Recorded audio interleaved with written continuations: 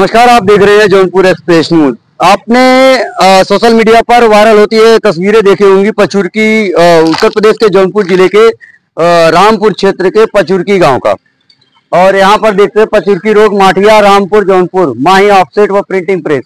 इसी के लोकेशन पर हम उपस्थित हैं। यहीं पर घटना हुआ था आपको बताया जिस घटना स्थल पे हम आपको ले चलते हैं। किस तरीके से घटना हुआ था? प्रशासन को सुरक्षा के लिए यहाँ पर बैठाने के लिए दिया गया था। यहाँ पर वो आए, यहाँ आराम फरमाए बैठे, सुरक्षा दिए दे। लेकिन जब से घटना हुआ है, तब से यहाँ पर घर का कोई सदस्य भी यहाँ नहीं रहता, क्योंकि डर का माहौल बराबर बना हुआ है। कहीं अपराधी घटना न करे। और उनका, इन लोगों का कहना है कि अब वीडियो में देखेंगे, इन लोगों का कहना ये भी है कि आगे अपराधी कल के डेट में आया हुआ था। ये लोग थाने में एफआईआर दर्ज कराने गए परंतु दरोगा साहब ने साफ़ बोला कि हम आपका केस यही यही सब देखेंगे यही सब करेंगे। इस तरीके का बयान अ, ऐसा आया ये लोग कह रहे हैं साफ़ साफ़ साफ़ आरोप लगा रहे हैं। बाकी की तस्वीरें यहाँ पर देखेंगे इस लोकेशन पर है आइए हम आपको दिखाते हैं आगे की तस्वीर जहाँ पर अम, इनके पिताजी को गोली मार दी गई थी। और प्रशासन यहाँ पर कोई भी प्रशासन का एक भी व्यक्ति यहाँ पर मौजूद नहीं है इस वक्त में। और आपको बता दें इसमें चार बजकर करीब पैंतीस मिनट हो चुके हैं। यहीं से ही यहाँ पे। यहाँ पे मेरी माता सोई थी। और उधर से पैक था इधर से पूरा पैक था हम्म। इधर से पैक था बस यही जगह खाली था। चारों तरफ़ पैक था। अब बिस्तर नीचे लगा होगा ना। नहीं सर बिस्तर ऊपर ही लगा था। हम्म ए- एक गद्दा बिछाया गया था एक लगदी थी उसके हम्म। ऊपर ब्लड सब गिरा था। ब्लड अच्छा। का दाग आज भी यहाँ पे है।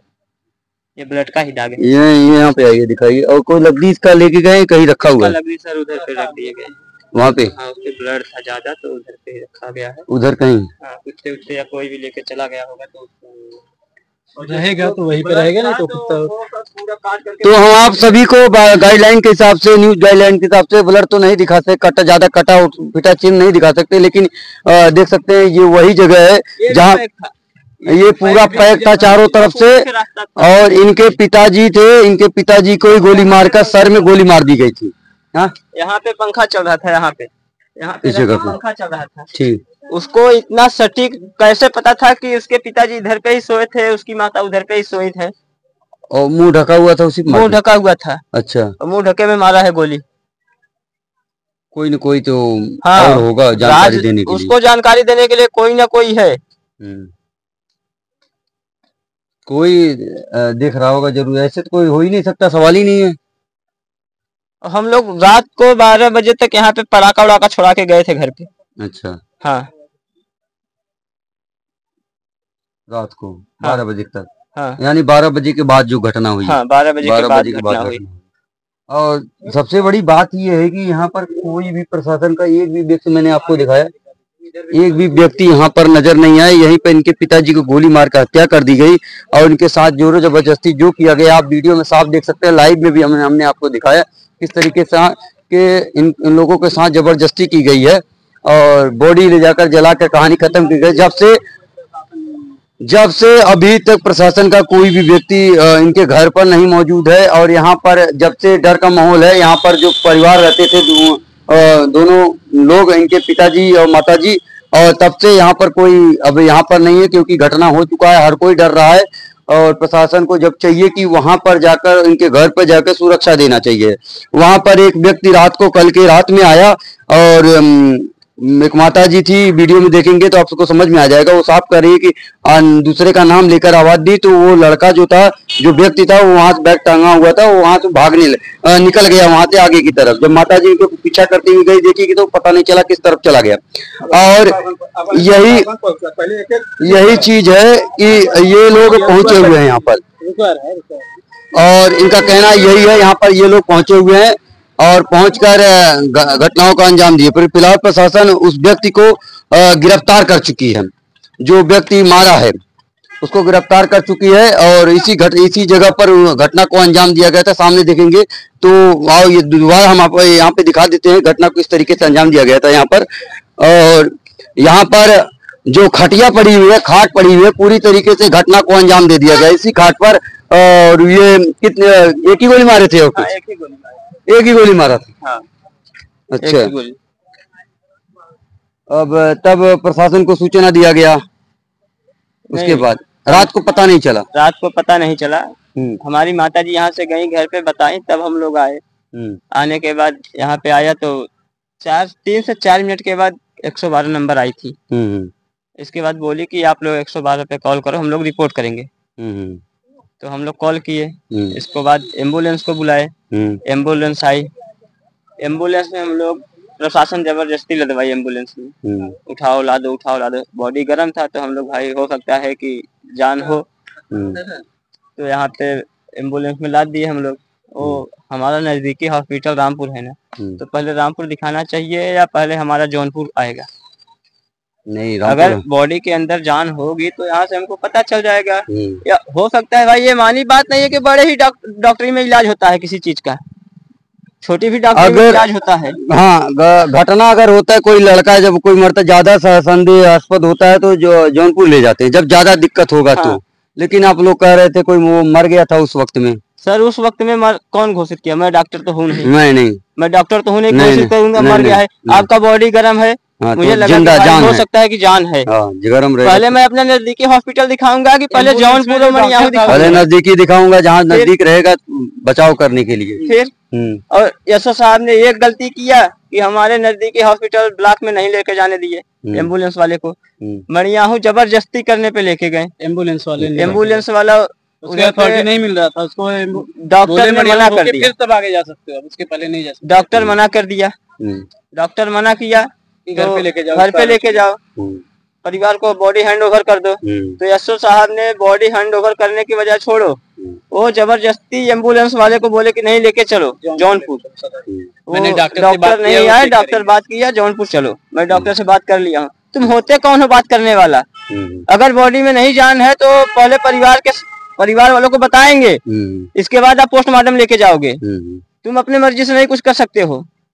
नहीं जो परिवार पड़ा हुआ है उसके हिसाब से ही हम बातचीत करेंगे। एंबुलेंस वाला को ज़बरदस्ती किए तो वो शीतलगंज तक गया था। हम्म, शीतलगंज तक गया उसके आगे उसको रिपोर्ट अथॉरिटी नहीं मिला। अथॉरिटी नहीं मिली। हम्म, वो गाड़ी रोड पे ही खड़ा कर दिया। हम्म, यशो साहब जो ड्राइवर थे रवि करके रवि चौरसिया सिपाही जो है ज़बरदस्ती एंबुलेंस में बैठा आपको मैं वीडियो दिखाया हम्म, इसके बाद एंबुलेंस से यशो साहब खुद लाश निकाल लाश निकाल के अपने गाड़ी में ला दे। हम्म, उसमें एक भी लेडीज़ पुलिस नहीं थी। एक भी लेडीज़ पुलिस नहीं थी। हम्म, लेडीज़ पुलिस नहीं थी उसके बावजूद भी मेरी माँ का हाथ पकड़ के ज़बरदस्ती अंदर बैठा है हम्म। हाथ पकड़ के ज़बरदस्ती अंदर क्यों बैठा है इसका महिला पुलिस परमिशन होनी है। चाहिए महिला पुलिस होनी चाहिए। इसमें यशो साहब खुद पैसा लेके मामला रफा दफ़ा करना चाहते थे। हम्म, जल्द से जल्द मामला जल्द से जल्द मामला खत्म कर दिया जाए।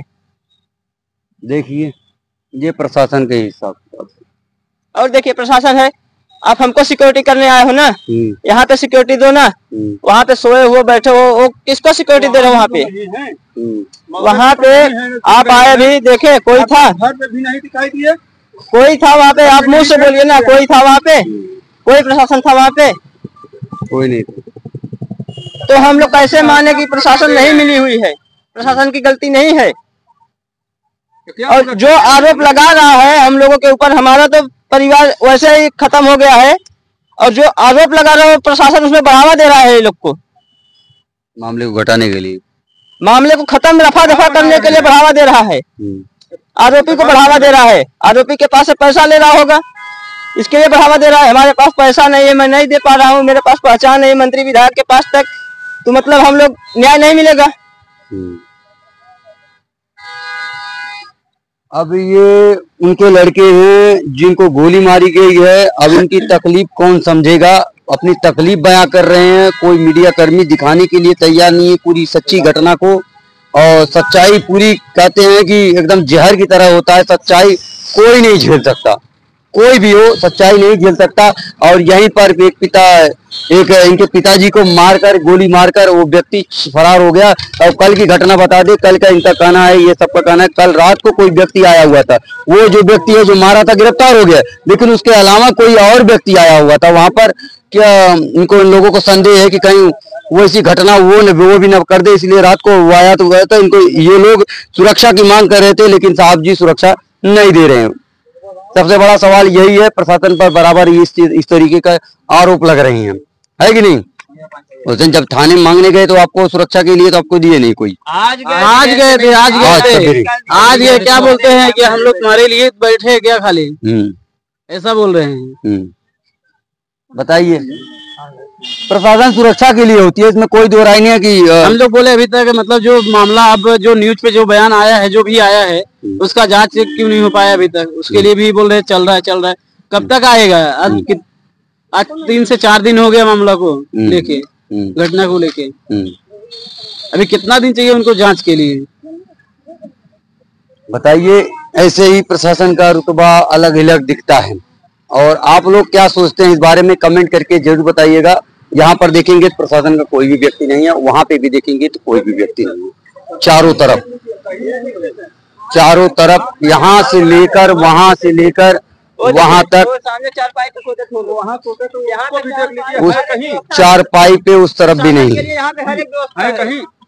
अब ये लोग कह रहे हैं, हम दिखा देते हैं आप लोगों को, इनका आरोप ये है कि प्रशासन सुनी नहीं है और कार्रवाई नहीं करी है। अब बताइए क्या किया जाए? हम पत्रकारों का काम होता है दिखाना करना। अब यहाँ पर भी कह रहे हैं यहाँ पर भी कोई नहीं है सामने। जबकि भी जब से घटना हुई है आपको बता दें कि यहाँ पे भी कोई नहीं है इस जगह पर भी कोई नहीं है। देखिए। यहाँ पे भी इस जगह पे भी कोई नहीं है। देख लीजिए। अब ये तस्वीर है रामपुर की। और बराबर रामपुर यहाँ थाने पे आरोप लग रहा है थानेदार साहब को वहाँ के एसएसओ साहब को कि भैया ये लोग सुन नहीं रहे हैं। ये कहीं न कहीं प्रशासन अगर सही टाइम पे सुनी होती तो शायद जौनपुर का कांड नहीं होता। प्रशासन अगर सुनी होती तो बहराइच का कांड नहीं होता। प्रशासन अगर सुनी होती तो देवरिया का कांड नहीं होता। प्रशासन अगर सुनी होती तो यहाँ पर मर्डर नहीं होता। अगर आरोपी आरोप लगा रहा है तो कम से कम उसके उसके तथ्यों की जाँच होनी चाहिए। क्या कि इसमें सत्यता क्या है, क्या सच्चाई है, क्या नहीं है, उसकी तो जाँच होनी चाहिए। प्रशासन का काम यही है। अगर कोई व्यक्ति की मृत्यु हो जाएगी, वो मर जाएगा, उसके बाद प्रशासन को लेकर क्या करेगा? न्याय मांगते फिरेगा, वही है जेल में जाएँगे साढ़े तीन साल, सात साल जेल होगी, फिर वापस आएगा अपराधी, फिर मारेगा किसी को। यही चीज़ होता रहा है।